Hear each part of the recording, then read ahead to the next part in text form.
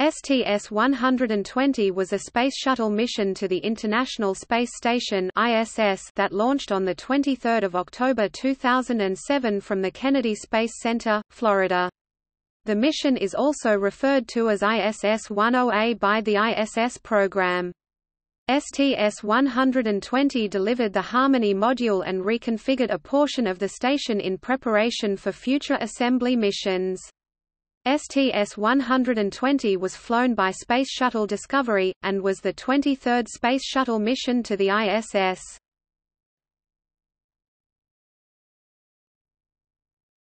Topic. Crew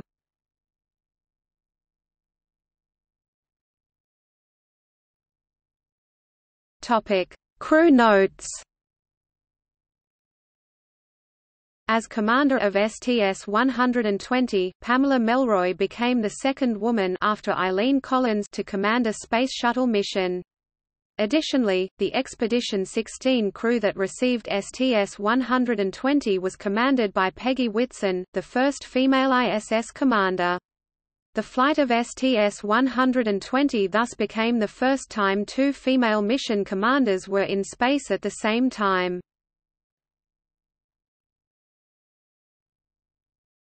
Topic: Crew prior to the Space Shuttle Columbia disaster. Prior to the Space Shuttle Columbia disaster, the original crew manifest for STS-120 was The STS-120 mission patch was designed by Michael Foreman before he was reassigned to STS-123.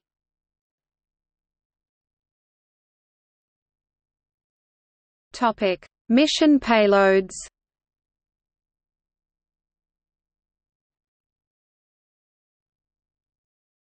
Topic: Harmony Node 2.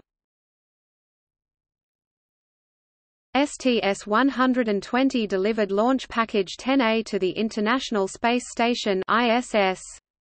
It consisted of the U.S. Harmony module also known as Node 2, with four DC to DC converter unit DDCU racks and three zero-G storage racks ZSR installed, a power and data grapple fixture PDGF for the station's robot arm, and a shuttle power distribution unit SPDU. Harmony was built for NASA by Thales Alenia Space in Torino, Italy, as part of an agreement between NASA and the European Space Agency and was the first pressurized habitable module delivered to the station since the Pirs docking compartment was installed in August 2001. Since STS-120 docked to the Pressurized Mating Adapter 2 PMA-2 on the forward port of the Destiny Laboratory module, installation of Harmony occurred in two stages. STS-120 installed Harmony to the port node of the Unity module. After Discovery undocked, the station's robotic arm detached PMA-2 from Destiny, and moved it to the forward port of Harmony.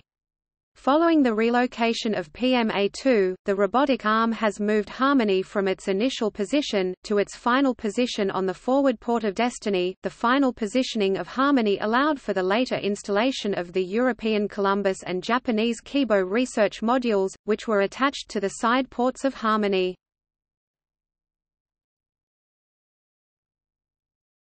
P6 relocation During STS-120, the P6 solar arrays were moved from the Z1 truss on top of Unity, to their final position at the port end of the truss.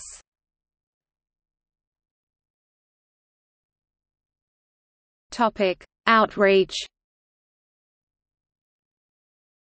STS-120 carried the signatures of over 500,000 students that participated in the 2007 Student Signatures in Space program, jointly sponsored by NASA and Lockheed Martin.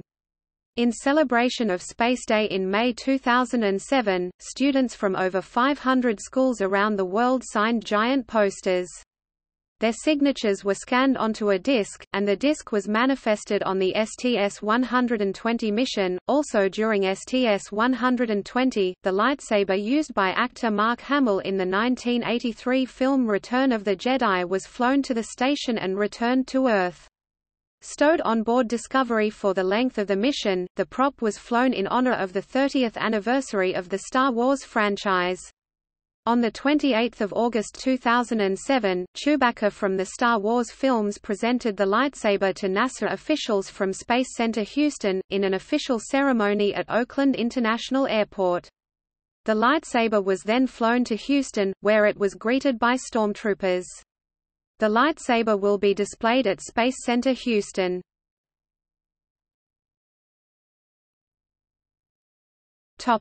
Mission background.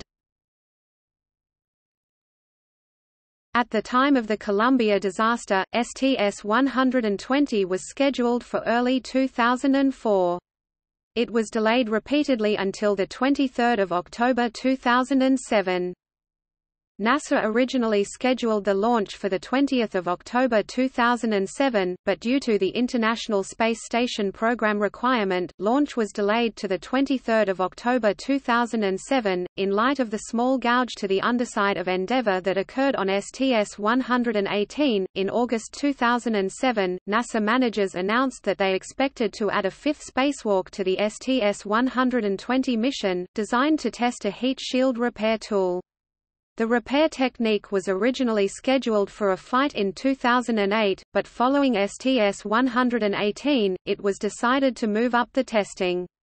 The repair tool, called a TPS thermal protection system repair ablator dispenser TRAD, has never been tested in space, so the spacewalk would have allowed managers to evaluate its effectiveness in low-gravity environments. During the course of the mission, issues with the S4 starboard Solar Alpha Rotary Joint SARJ, and P6 Solar Array, deferred this test objective to a future mission. The mission marked 151st NASA manned spaceflight. 120th Space Shuttle flight since STS-1. 34th flight of Discovery. 95th post-Challenger mission 7th Post-Columbia mission Topic: Mission timeline.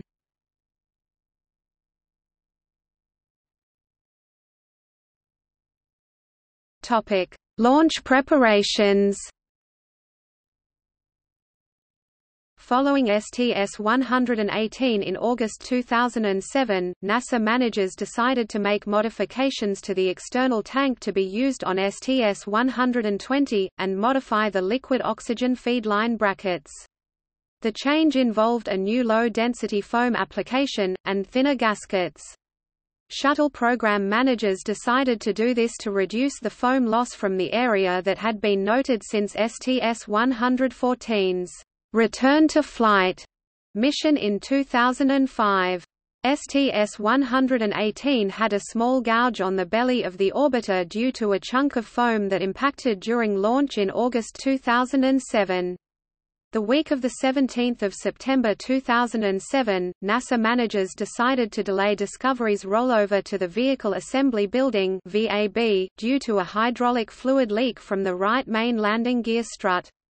The strut repair was successfully completed on 19 September 2007. Discovery then moved to the VAB, and was mated to the external tank and solid rocket boosters.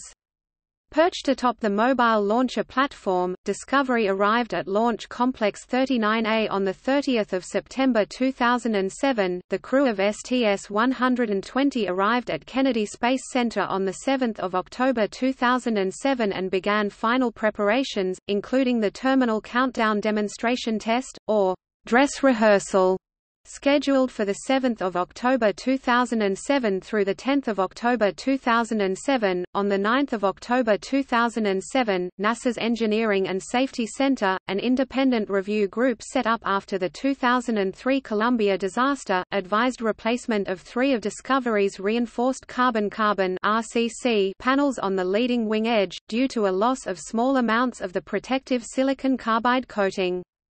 NASA reviewed the issue of oxidation of the panels for several months, using a variety of specialized testing methods, including thermography. These tests showed that the panels had not worsened over the course of the past two flights of Discovery, and the Orbiter project engineers concluded in August that Discovery was safe to launch as is. Had a decision been made to repair the panels, the orbiter would have been rolled back to the VAB, delaying the launch. On 16 October 2007, NASA managers completed the Flight Readiness Review, and held a press conference to announce the mission plan. The issue of the RCC panels raised by NESC was found to be of little immediate concern, because the NESC took pre-flight thermography data from Endeavour and compared it with Discovery, but there was no commonality in flight history between the two vehicles. The research showed no significant difference between the panels prior to STS-114, and the panels today, which indicates the coating has not worsened during the previous flights, adding confidence that Discovery's RCC panels have had no deterioration in the flights since. NASA announced on the main shuttle page that the Space Shuttle program has determined that Discovery's astronauts can safely carry out their mission without having to replace the panels.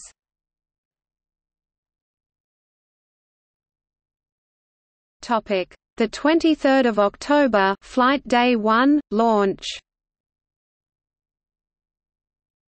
Discovery launched on time at 11:38 Eastern Daylight Saving Time, 15:38 Coordinated Universal Time.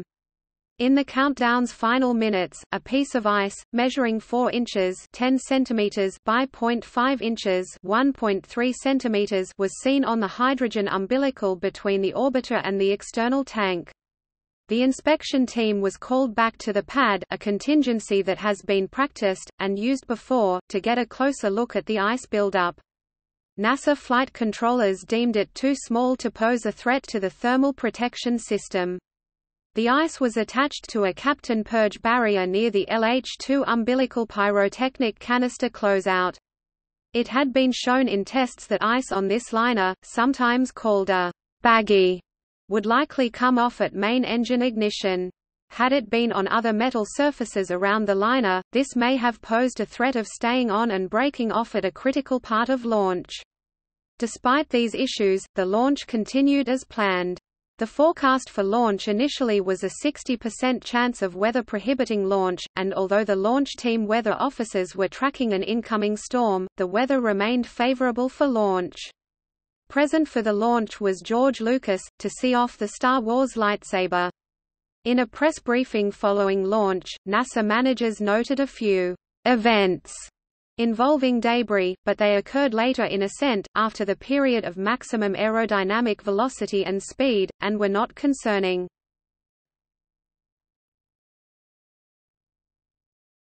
The 24th of October, flight day 2.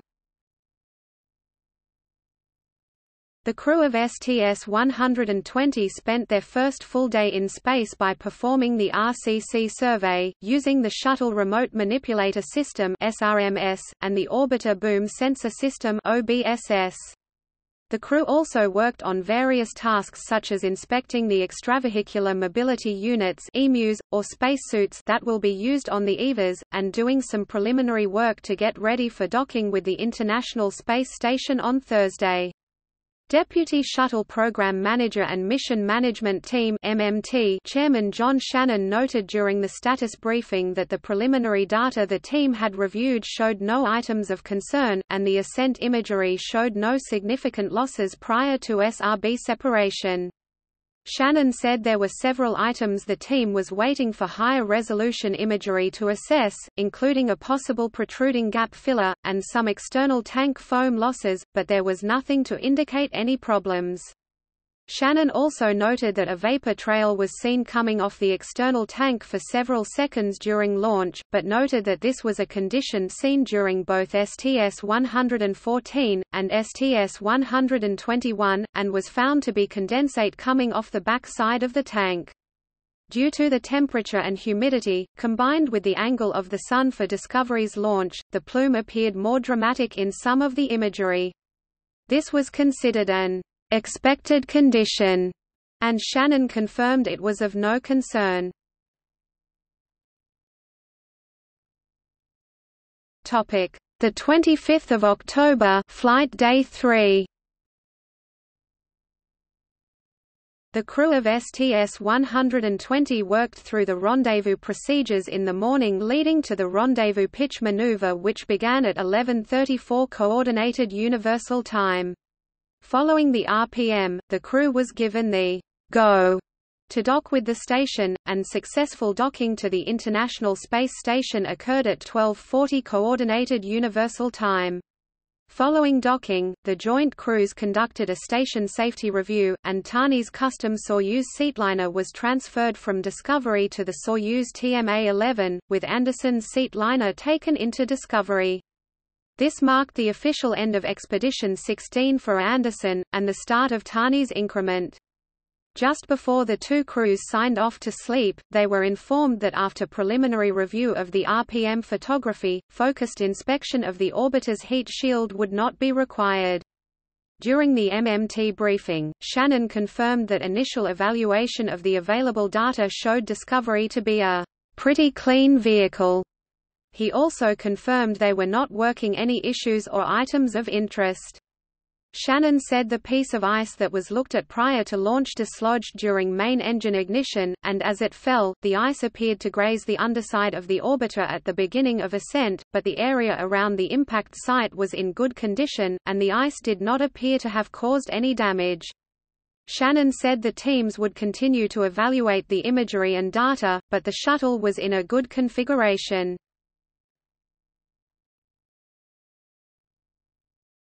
Topic: The 26th of October, flight day 4. The two crews started the day by preparing for the mission's first spacewalk, which began at 10:02 coordinated universal time and ended at 16:16 coordinated universal time. Parazynski and Wheelock successfully completed all EVA activities, including preparing Harmony for removal from the payload bay. Wilson, Tani, and Anderson controlled the station's robotic arm, moving Harmony out of the bay and onto the port side of the Unity node. At 1538 Coordinated Universal Time, Harmony was officially mated to the space station. The station's new addition adds 2,666 cubic feet (75.5 cubic meters) to the station's living volume, an increase of almost 20% from 15,000 cubic feet (420 cubic meters) to 17,666 cubic feet (500.2 cubic meters). At the mission management team meeting, managers cleared Discovery's heat shield for re-entry and verified that focused inspection was not required required, but noted that late inspection will still be performed on flight day 13 following undocking. John Shannon mentioned that managers have decided to add a task to the second EVA, asking the astronauts to visually inspect the Solar Alpha Rotary Joint on the starboard side, as the joint has registered some vibration for the past month and a half. While the friction is not constant or severe, managers will have Tani remove the insulation covers from the joint to photograph the swing bolts on the joint since Tani would be near the area during the EVA.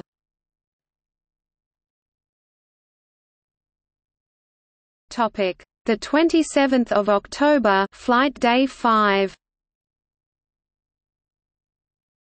The two crews worked to prepare Harmony for entry in the morning, connecting power and data cables, and at 12.24 Coordinated Universal Time, the hatch was opened, and the crew was allowed to enter.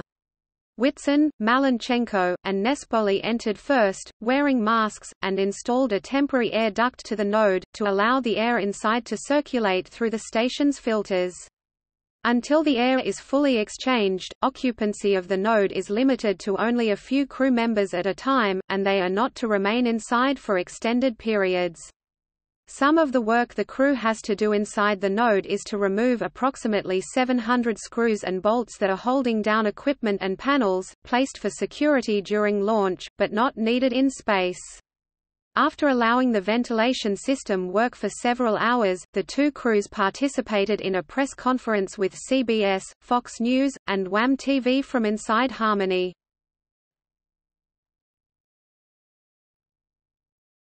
Topic: The 28th of October, flight day 6. The two crews awoke at 5:08 coordinated universal time and began preparing for the second EVA. Parazynski and Tani began the spacewalk at 9.32 Coordinated Universal Time, a half hour ahead of the planned timeline. The pair started with the P6 truss, removing the attachments to the Z1 truss, which allowed Wilson and Wheelock to use the station's robotic arm to move the truss to a position where it was parked for the night. Joking to Wilson, "'Don't drop it'", Parazynski then moved on and installed handrails onto Harmony, while Tani went to inspect some items requested by the managers, including handrails on a crew and equipment translation aid cart, that was considered as a possible cause of Rick Mastracchio's glove tear on STS-118. Tani noted the handrail appeared to be intact, with no obvious sharp edges. Tani then moved on to the Solar Alpha rotary joint that has had an intermittent vibration for over a month. After removing the cover from the joint, Tani called down to the team to let them know he saw some metal shavings, and some wear patterns and discoloration on one of the rings inside the joint. It's like the result that you get with the metal, iron filings and you put a magnet under it and they stand straight up. Tani collected some of the shavings onto some tape, which returned to Earth with the shuttle for further analysis. Managers decided to add a task to Tuesday's EVA, having Parazynski inspect the port left side SARJ, using photography and video to compare it to the starboard SARJ inspected by Tani.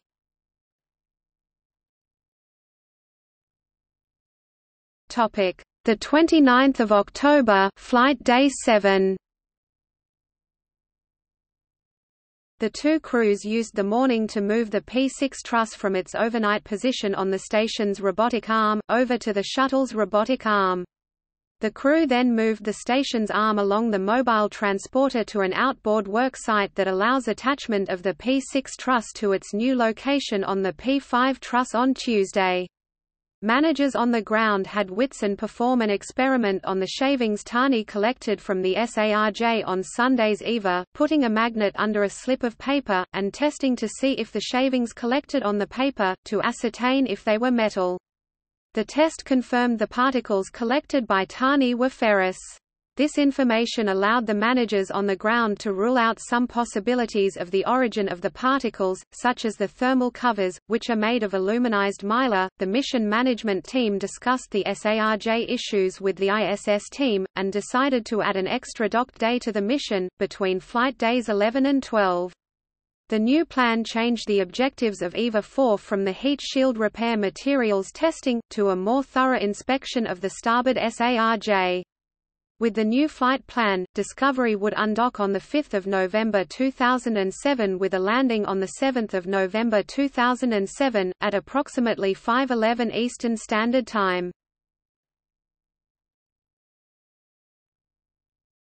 The 30th of October, Flight Day 8 The two crews spent the morning preparing for the mission's third EVA, which began at 8.45 Coordinated Universal Time. The EVA completed the installation of the P6 solar arrays onto the P5 truss, and the rest of the EVA activities were accomplished successfully, with the EVA ending at 15.53 Coordinated Universal Time. Once the P6 solar array was attached, the process of deploying the arrays began. The first set of arrays, 2B, was successfully deployed with no issues, but during the deployment of the 4B array, the crew halted when they noticed an abnormality. Initial images taken by the crew and station cameras showed what appeared to be a tear in a small portion of the array. During a press briefing, ISS program manager Mike Suffredini said the crew took high-resolution images of the solar array, and the managers would analyze the images overnight to determine a course of action.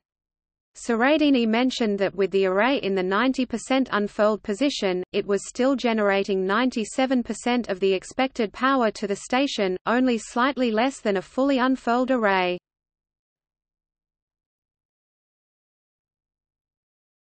Topic: The 31st of October, flight day 9.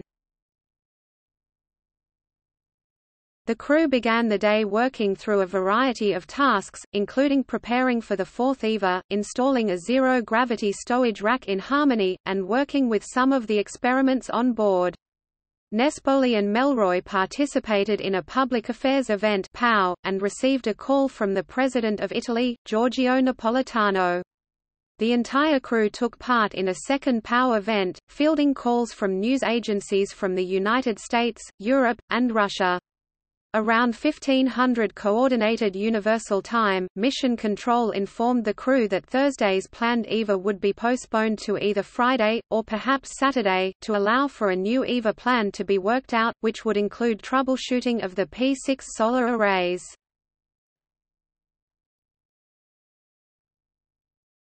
The 1st of November, Flight Day 10 Shortly after awakening in the morning, the crew was informed that the managers had chosen to take an extra day to evaluate and plan the fourth EVA. Managers initially planned for the EVA to be done on flight day 11, but would use an extra day to conduct further analysis and allow the crew to have extra time to make the tools and equipment needed, and to review and practice the procedures. The crew took some time out to gather in the Harmony module to speak with former President George H. W. Bush and his wife, Barbara, who were visiting Johnson Space Center. The rest of the day was devoted to assembling and configuring the new equipment and tools that would be required for the solar array repair, including a tool termed a cufflink the tear in the array is located at one of the hinges, which carries the load of the array, so the cufflink will be a load-bearing strap to relieve the pressure from the snagged area, transferring the load from the hinge, to the cufflink. The cufflink is made up of two wires, with two tabs at the end, that are threaded through existing reinforced aluminum holes in the solar array panels. The EVA plans call for the space station's robotic arm to grapple the shuttle's orbital inspection boom, with an extension on the end, to allow Parazynski to reach the solar array while positioned on a foot restraint at the end of the system. Wheelock will be watching to let the team know the clearances, and to assist Parazynski and the robotics team with positioning. With the changes to the timeline, the crew would be shifting their sleep schedule, to allow for a daylight landing on Wednesday, rather than the early morning landing that was originally planned. The fifth EVA that was planned for the Expedition 16 crew during the mission was delayed, and will be performed by the station crew after the shuttle departs.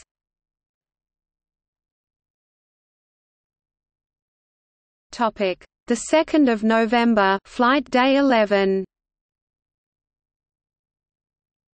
The shuttle and station crews spent the day discussing the new EVA plan with managers on the ground, reviewing the procedures, completing the tool configurations, and going over the timeline for the fourth EVA, scheduled for Saturday.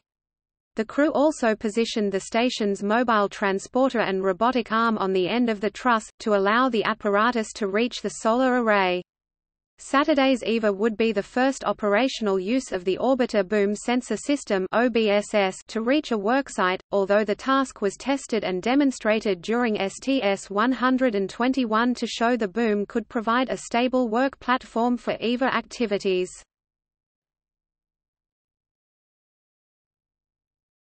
The 3rd of November Flight Day 12 After being awakened by the theme music from Star Wars, the station and shuttle crews got to work preparing for the mission's fourth EVA. The spacewalk began at 10.03 Coordinated Universal Time.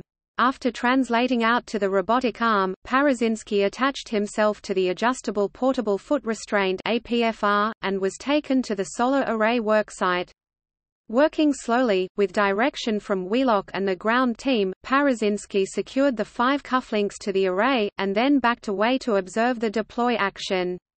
Inside the station, the crew deployed the array a half a bay at a time, and the array was fully deployed at 1523 Coordinated Universal Time. After performing additional inspections of both the 2B, and 4B arrays, Parazynski and Wheelock finished the EVA at 1722 Coordinated Universal Time. With the mission's final spacewalk completed, Parazynski has completed seven EVAs, for a total time of 47 hours, 05 minutes, placing him fifth overall for total EVA duration. Wheelock completed three EVAs, for a total time of 20 hours, 41 minutes, and the total EVA time for STS-120 was 27 hours, 14 minutes. During the EVA, a pair of needlenose pliers floated free of the equipment, and was observed floating nearby the window by the crew inside the station. The tool floated clear of the station, and was not a hazard.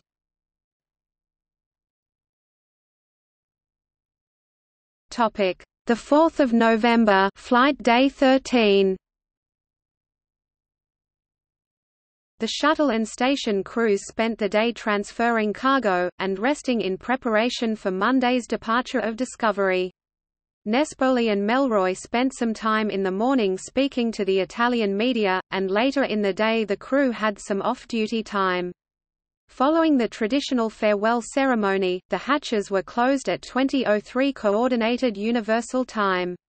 During the emotional ceremony, Anderson spoke to the ground crew, expressing his gratitude for their support during his 137 days as an expedition crewmember. You all kept me safe, you've shown me unwavering patience and professionalism. And you've all overlooked my shortcomings, and it's my hope that maybe you've even had a few laughs along the way. What I'd like to say is, what we are doing here is very important for all of humankind. It's worth the risk, it's worth the cost, and you folks on the ground are the people who make it happen. So I want you to take pride in your work and constantly look toward the heavens, for it is there you will see your future. For all the flight control, training and engineering teams in Houston, Huntsville and Moscow. I say thank you, you are indeed the best and the brightest that our world has to offer.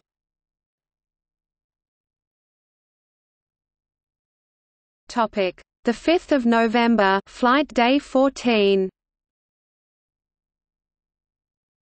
The two crews spent the morning preparing for Discovery's undocking from the International Space Station.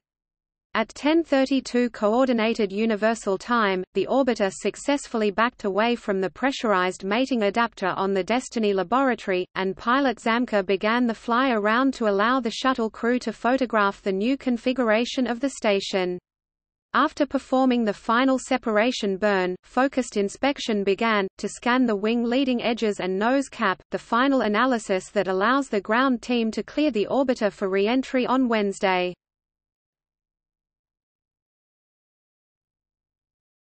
Topic: The 6th of November, flight day 15. The crew of Discovery spent the day preparing Wednesday's landing. In addition to doing final packing and stowing activities, Melroy and Zamka did a check of the orbiter's systems, including the flight control systems, and the reaction control system jets. The crew took some time out in the morning to speak to the media, and then had a deorbit preparation briefing with the ground team. Melroy performed a burn of the orbiter's engines in the afternoon, an orbit adjustment burn done to refine the orbiter's trajectory for the two Wednesday landing opportunities at Kennedy Space Center. NASA managers officially cleared Discovery's heat shield for landing after reviewing the data sent down by the final inspection on Monday.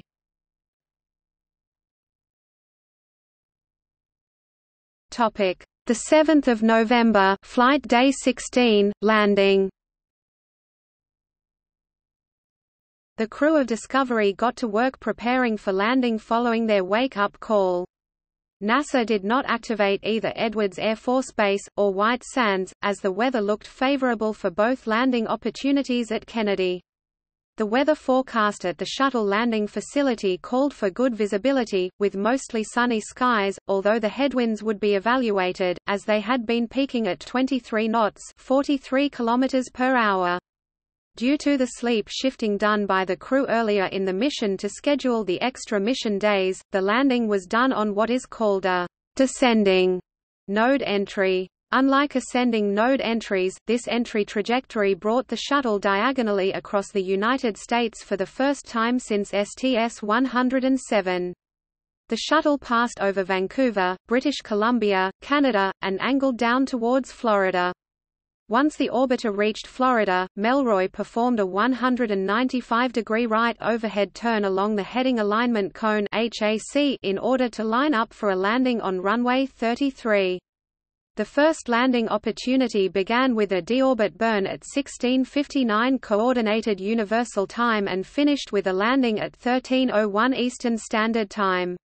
The deorbit burns were done to slow the orbiter's speed and to drop it out of freefall orbit and on target for the designated runway. Discovery's payload bay doors were closed at 1413 Coordinated Universal Time, and the crew began fluid loading at 1600 Coordinated Universal Time. Fluid loading is a procedure that involves drinking high salt content fluids, which allows the astronauts to adjust to the return to gravity, and reduces the chance of hypotension upon returning to Earth. Shortly after 1600 Coordinated Universal Time, the crew began to get into their launch and entry suits, and ingress into their respective seats for landing.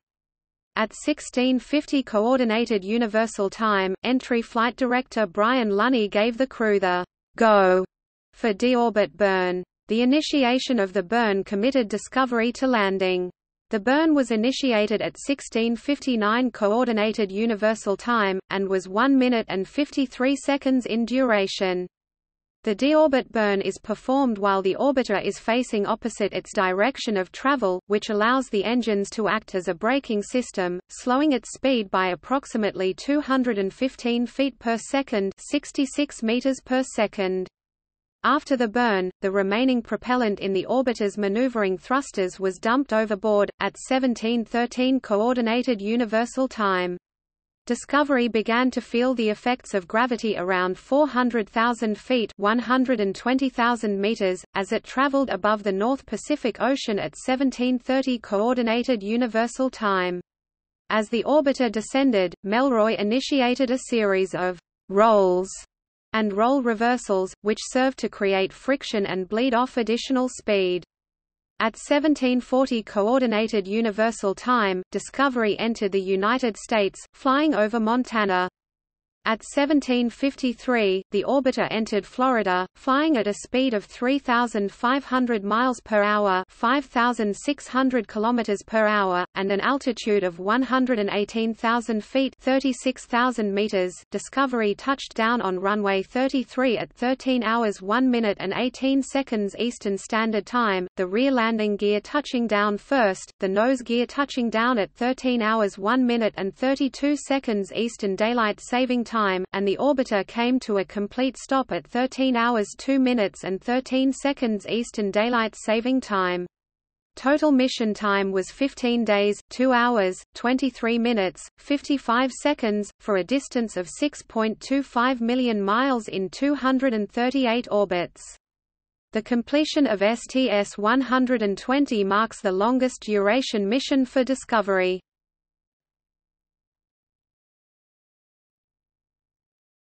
Topic: Extravehicular activity.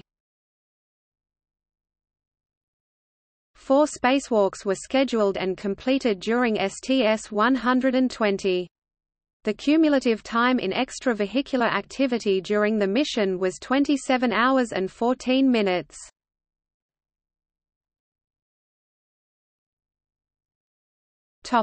ESA Esperia mission. In addition to his participation in the ISS assembly mission during the STS-120 flight, Paolo Nespoli conducted science research as part of the Esperia mission for ESA. According to the STS-120 press kit, Nespoli was to carry out a number of experiments on behalf of the European science community.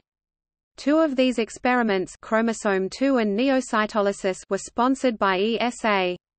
The other three HPA, FRTL5 and SPORE were sponsored by the Italian Space Agency. Chromosome 2, neocytolysis and HPA were experiments in the field of human physiology. FRTL5 and SPORE were biology experiments.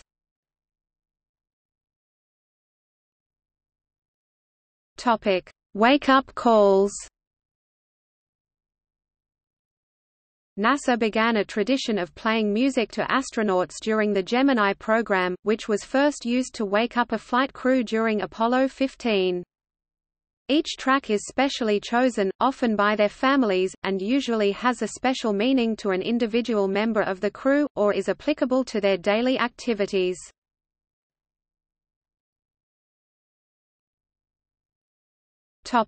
Contingency mission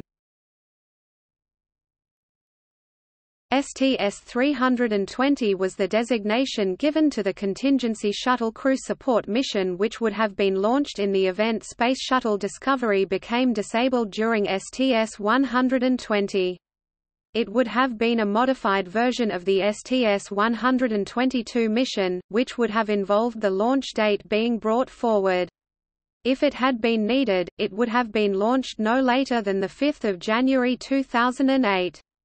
The crew for this mission would have been a four-person subset of the full STS-122 crew.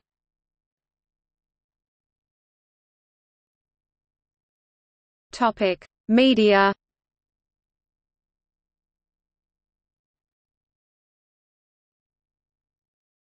Topic: See also 2007 in spaceflight List of human spaceflights. List of International Space Station spacewalks. List of Space Shuttle missions. Lists of spacewalks and moonwalks